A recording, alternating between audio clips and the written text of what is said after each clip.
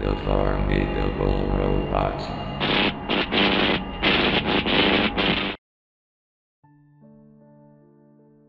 You ever tired Crystal Pepsi, or hell, Pepsi Blue?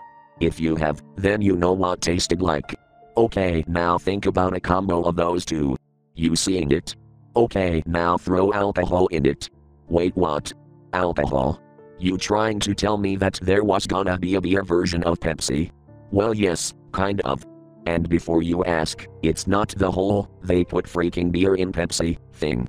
I lived around where one of those Pepsi factories are. The place is only for shipping drinks by PepsiCo in our state, like Pepsi, Mountain Dew, etc. And if you're wondering, yes, that means that we have those Pepsi shipping trucks running around here too. I've been told of this urban myth around my local area, and it has to do with a Pepsi drink that I never heard of. Some told me it's like Pepsi Blue but with some sort of beer they never tired. Others say that it has that drink Heineken mixed with the Pepsi flavoring, or flavoring. If you heard about Hyper Coke, then this is kind of like that. Once that Hyper Coke story popped up, the whole myth on this Pepsi drink sparked up again. What's this drink called, you may be asking? Pepsi Smack. Pepsi Smack, or as others called it in my local area, Bar Fight Pepsi, was Pepsi's move on aiming at a more adult drink than their own normal drink. They wanted to keep the Pepsi brand name on it because they wanted it to have a catchphrase, just smack it, since they love the idea of a beer Pepsi that you can just smack the can and whatnot.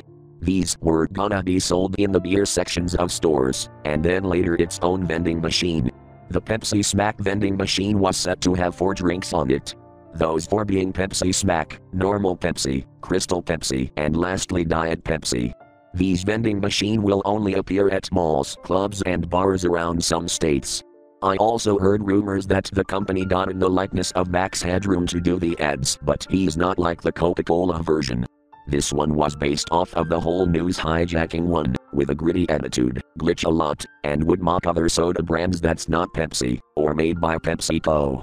Oh Chester Cheetah, how I adore you and your tasty Cheeto snacks.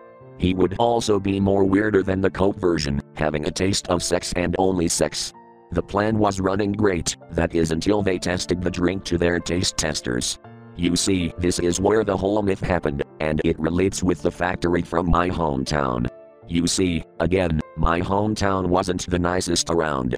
Sure, you're gonna get the happy people, but you're gonna get the most abusive people you'll ever meet. The whole myth played out like this. Pepsi hired a group of 20 people to try out the new drink and see how it tasted. This is only for that if the drink would be harmful or bad, then they'll scrap the drink and would just restock on some of their other products. If it was good, then the drink will get greenlit and will start to spread around stores and whatnot. 19 out of 20 people tired it and loved it. The other guy said that it didn't set well with him and said he can go home early. This drink is where you replace the whole idea of getting drunk to full on sugar high, or as the workers nicknamed it, on crack. Pepsi then greenlit Pepsi Smack for its test locations, which did well for the first few weeks. And then the first story hit. Headlines had this. Chaotic man snaps during party, almost killed local teens, all due to Pepsi Smack. Sounds like those clickbait videos, right? Ooh, it gets better. Then you'll start to see everyone acting weird around the area. Teachers would sneak in the drink into some of the schools, cops started to chug the drink while on the job, and the whole chaos just begun. The date was November 7, 1989. For our hometown, locals nicknamed the day, the day Pepsi smacked, and it all started at a local bar. The bar all got into a bar fight, both inside and outside. Heck, it gone so far that even weapons were on the loose in the place. Was that the smack of 89? This will later affect parents, loved ones, and many more. One of them was with these girls. I think one of the girls' name was Clover or something. Ugh, I heard she just got fired from that Nickelodeon hotel or something. SpongeBob is not proud whatsoever. But anywho, these girls were having a party at this one girl's house. Their little brother was there as well, and all of a sudden, they raped the kid. I mean, they just full on fucked the kid, all of them.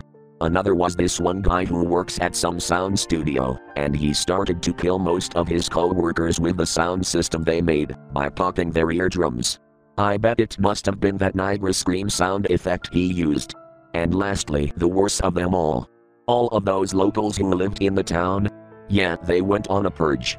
This lasted for the whole time, and it almost destroyed the whole town. And once the drink ran out, they got even worse. First, you'll see people breaking stuff around the town, the next, you'll see people starting to kill each other with the stuff they have. I lost my uncle from this day, and it still scares me about this. But my family hasn't told me about how he died, so that's why I believe this whole myth. Anywho, after what people around the state saw around that town, the city sued PepsiCo on making the drink. Turns out the beer wasn't only just beer. They drop a tiny bit of acid in there too. That explains the whole chaos around the area. Luckily, the smack stopped there. Pepsi scrapped the whole idea for good, not even gonna mentioning it. I heard that they even brainwashed themselves just to forget about it, but I think some idiot wants to trick me on believing him for something, I don't know. If a company does this to us, and change us on who we are, then we'll know once the place turn into chaos. Just smack it, you know?